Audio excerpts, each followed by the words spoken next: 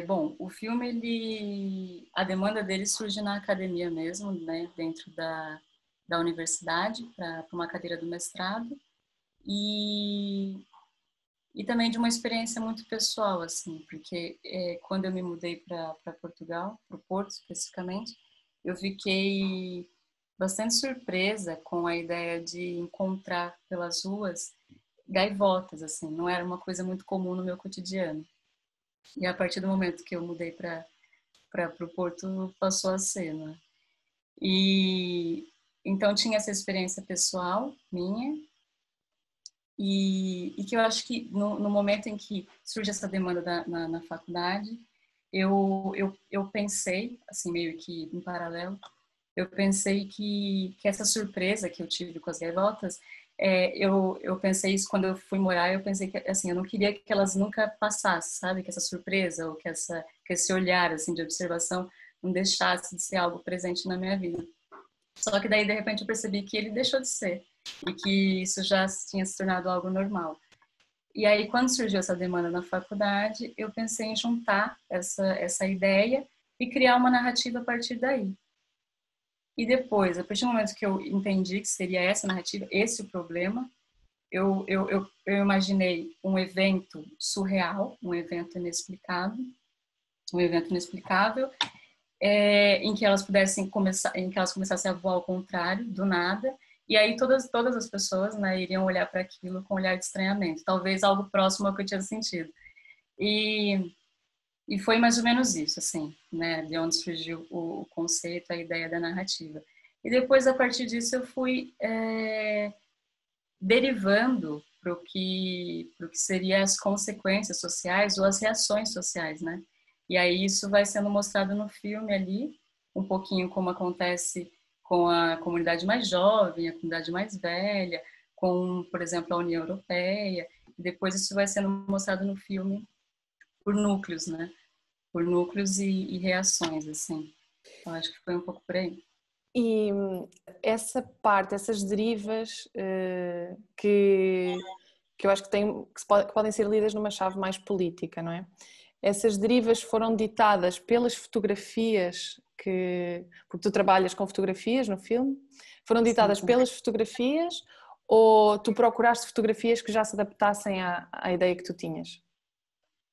Bom, isso eu acho que foi algo muito, muito aconteceu assim muito muito junto, sabe? Essa essa essa soma assim da fotografia. Eu frequentava muito a biblioteca do Palácio de Cristal. E aí, enquanto, enquanto eu estava lá, em muitos momentos eu ficava folheando os livros de fotografia portugueses, principalmente.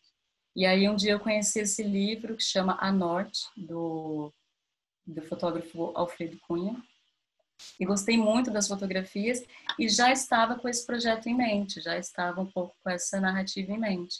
E aí, é, como eu não sou formada em cinema e sim em design, é, eu eu saí um pouquinho também, foi uma forma assim de sair pela tangente, de criar uma narrativa e um filme, um produto audiovisual que tivesse fotografias, né, montagem de fotografias, o recorte, uma edição fotográfica ao invés de captação de imagens, né, captação de vídeo. Então, é, foi um bocadinho tudo junto, assim.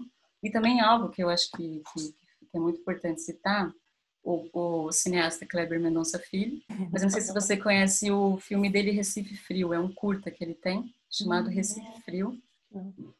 Sim, e, e ele faz algo, assim, parecido, acho que essa é a minha maior referência, assim, que, que fica aquela referência que permeia, né, do seu imaginário, assim. E ele fez um filme em que ele, de um dia para a noite, quer dizer, da noite para o dia, é, Recife, que é uma cidade muito, muito quente, né, no nordeste do país, passa a ser uma cidade fria, extremamente fria. E, e, as pessoas têm que lidar com isso sem nenhum preparo e sem nenhuma explicação, né? O, o, o motivo principal do, do, do, filme ele vai um pouco por aí, trazer um evento é, bizarro, surreal, né? Que não, não, não se explica dentro da narrativa, inclusive. E depois focar mais nas reações. E, e bom, eu acho que essa, essa referência é importante citar, porque ela guiou bastante do projeto. É, mas depois, ah, e também ele tem bastante usos de, de, de, recorte no filme, alguma coisa assim. E depois isso juntando a outros cineastas que eu também admiro bastante é, por essa, por esse estilo de montagem. Aí tu somou e eu trouxe esse livro do Alfredo Cunha, que também é um fotógrafo português. E pronto, acho que tudo casou assim e, e foi e criou uma possibilidade interessante. É, um bocadinho na, na, nessa onda ainda de falar de, dessas referências e também do Alfredo Cunha. Um, eu provavelmente até uh, influenciada pelo facto de saber que tu eras brasileira, vi o filme muito uh, a pensar no Brasil e no momento que o Brasil está, está a viver, mas uh, para ti o filme é muito português, não é? Ou seja, é um filme para ti marca muito a tua, a tua relação com Portugal. E não Minha sei se queres falar um bocadinho sobre isso. Pois, é, eu acho, eu, eu cito, coloco como um filme muito português, porque eu acho que esse filme só foi possível por causa dessa minha mudança, né? Não, não, não acredito, possivelmente, que esse filme existisse caso não tivesse ido morar aí, ou se existisse um filme brasileiro, seria um outro, um, né, uma outra, um outro assunto, uma outra narrativa, e talvez até uma outra forma estética, inclusive, porque eu digo que é um filme muito português, principalmente por conta da, da, das imagens de arquivo. Eu acho que Portugal tem uma relação é, interessante com, com a sua memória, ora mais saudável, ora nem tanto, mas eu acho uma relação importante. Saber da história, eu acho que isso é algo que não se nega a, a, a nenhum povo. E e o filme tem muito disso, né? Lidar com essas imagens de arquivo, né? É um filme, é uma narrativa que parte um pouco daí. Apesar de, de do, do, do, ponto da narrativa, apesar da, da, da própria história acontecer no, no momento presente, é interessante pensar que a construção dela é também feita por imagens de arquivo de Portugal, né? Então, eu acho que é um filme português principalmente por isso. E eu acrescentaria que, infelizmente, eu acho que nós, brasileiros, precisamos aprender um pouco melhor essa questão da memória, né? É... E vejo isso muitos no, nos filmes, por exemplo, do Glauber Rocha, ele cobrava muito a memória do país, sabe? Um reconhecimento do país, uma elaboração de seu passado. Eu acho que isso é importantíssimo e é algo que infelizmente nos falta. Nos falta hoje, nos faltou há 40 anos atrás e, e vamos vivendo esse ciclo histórico que se repete sempre numa chave é, muito cruel, né? Muito cruel com o próprio país, assim.